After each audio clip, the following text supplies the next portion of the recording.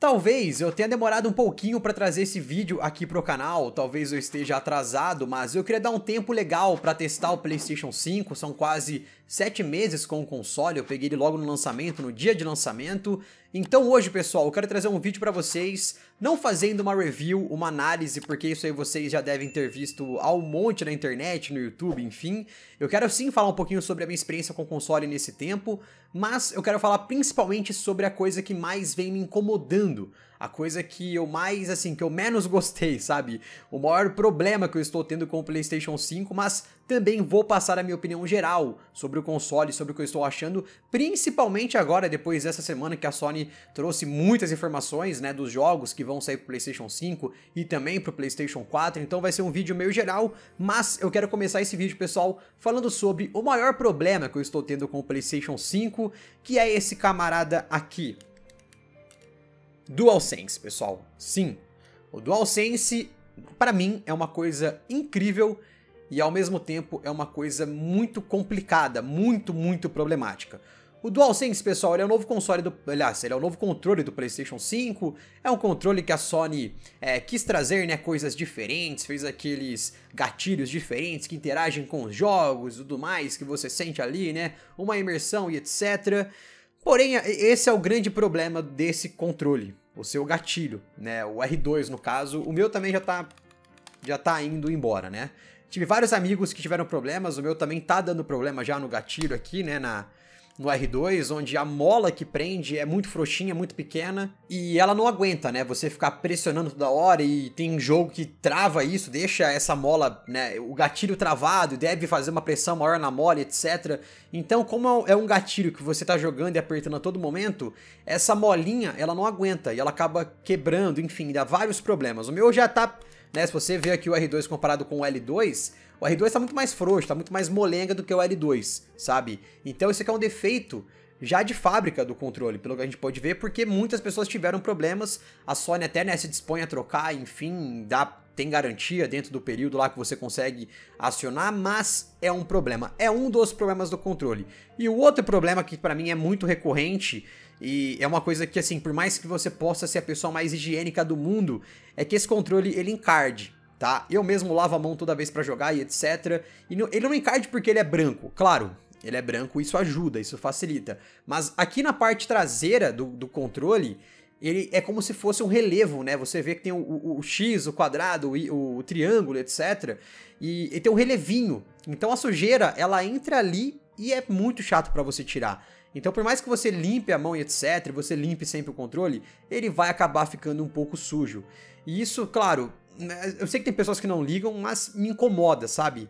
Então também é uma coisa que, sabe, talvez esse relevo não deveria estar aqui, nessa parte que a gente segura tanto e faz tanta força também para segurar o, o, controle, às vezes, né? Então o DualSense, pessoal, para mim hoje, ele é o maior problema que eu estou tendo com o console, sabe? É o DualSense.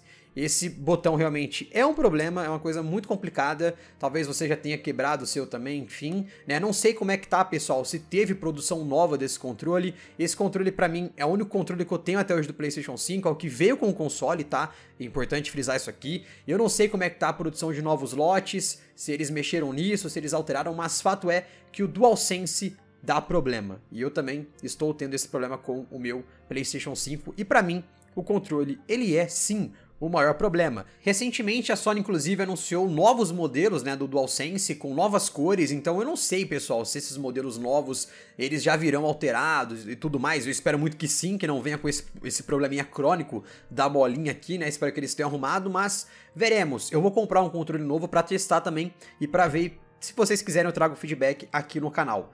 Mas, assim, pessoal, esse aqui é o maior problema para mim, tá? É o controle. Por mais que ele seja muito legal de você jogar, né? E de fato ele tem jogos que usam muito bem, né? As, a, o que o controle pode oferecer, não é todo jogo que usa, tá? É importante frisar isso aqui. Tem jogo que, acaba nem usando, mas os jogos que usam bem, é legal, é bacana você sentir, né, os gatilhos que ficam diferentes, você vai jogar um Call of Duty, né, na hora de você fazer o reload, você sente que o gatilho dá uma travada e tudo mais, a arma não funciona, e você sente isso, então isso é legal, eu concordo, é bacana, mas se falar assim, ó, Colucci, vamos tirar essa, essa tecnologia para deixar o controle 100%, você prefere? Prefiro, tá? Então, assim, por mais que seja legal, é uma coisa que a gente vê que o controle pelo menos por enquanto, vem dando problemas. Mas sobre o PlayStation 5 no geral, pessoal, vamos lá falar sobre o console em si. Como eu falei para vocês, eu tô com o PlayStation 5 há quase 7 meses. Eu peguei ele logo no dia de lançamento, né? Eu comprei ele em pré-venda e tudo mais. E assim, a minha experiência até agora é muito positiva com o console no geral, tá? É um console que eu não tive problemas de leitor de disco, eu não tive problemas com ele dando crash, problemas com ele dando, sei lá, problema de HD, problema de, de alguma coisa interna. Não, muito pelo contrário, o console funcionou 100%, né? Eu sei que o pessoal tem esse medo de comprar console no primeiro lote, que fala que vai vir com problemas e etc. Não, eu não tive nenhum problema com o meu PlayStation 5. A única coisa que ele teve quando ele chegou foi que isso foi com todo mundo, né? Não estava carregando em modo repouso, mas a Sony depois lançou uma atualização que corrigiu isso, logo ali nos, nos primeiros dias. Outro ponto que é importante dizer, pessoal, armazenamento.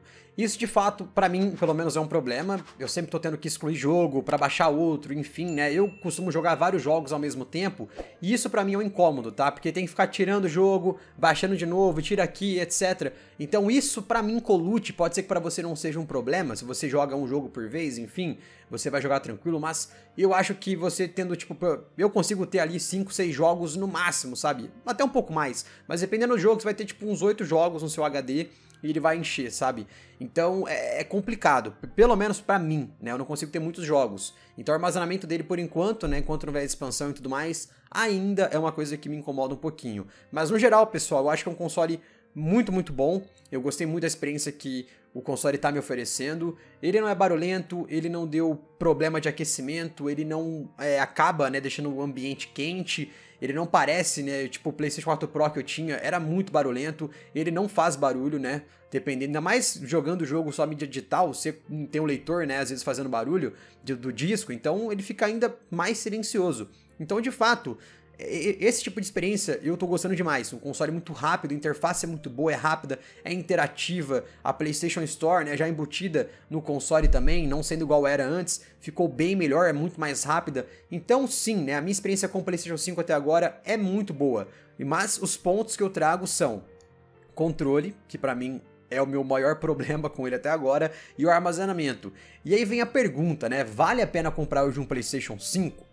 Bom, pessoal, sendo bem sincero, é claro, se você tem o dinheiro e você quer comprar, vale a pena você dar o upgrade. Não vou negar, ele é muito melhor que o PlayStation 4. É muito, muito melhor. Não tem jeito, não tem como comparar uma tecnologia de 2020 com uma tecnologia de 2013, né? Tô falando aqui o PS4 base, que eu vou levar, que a maioria das pessoas tem.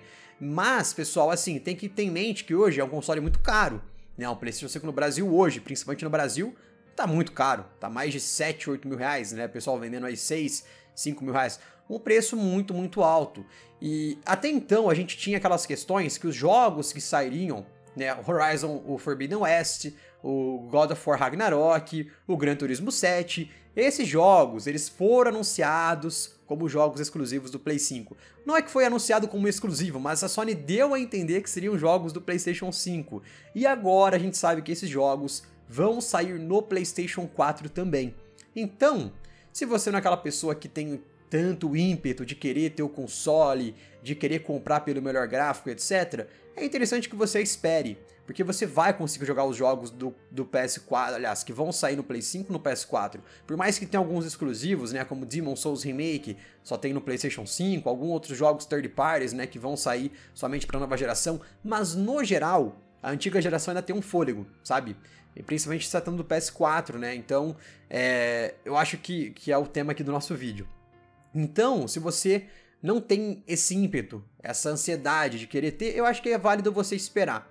Sabe, espera um pouco, dá uma caída, enfim. Mas se você tem um dinheiro você comprar, também pode comprar, você não vai se arrepender.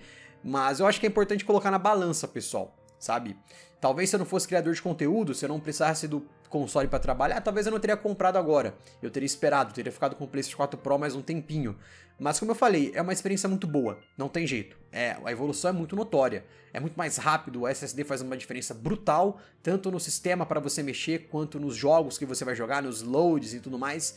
Então é muito melhor, isso é um fato, mas tem que pôr também o custo-benefício aí na balança, porque como eu falei, até então a gente pensava que o God of War Ragnarok seria um jogo de PlayStation 5. Inclusive foi adiado, né, pro ano que vem. E não, vai sair pro PS4 também. Gran Turismo 7 vai sair pro PS4 também. Horizon novo, vai sair também para PS4. Então é importante você colocar isso na balança e ver como fica melhor para você, tá? Mas no geral, pessoal, recomendo muito o console, gostei bastante, mas como eu disse, o meu maior problema hoje é o DualSense. Enfim, essa é a minha opinião sobre o PlayStation 5. Comenta aí se você também tem um PS5, se você quer passar a sua análise, aí não é bem análise, enfim, a sua opinião do que você mais gostou, se você teve algum problema, comenta aí a sua opinião aqui embaixo, tô curioso para saber. E no mais é isso, pessoal, espero que vocês tenham curtido o vídeo, comenta aí embaixo o que vocês acharam, se quiser dar uma forcinha pro canal com like, com gostei, eu agradeço demais. Vejo vocês no próximo vídeo, um forte abraço, valeu, falou e cia!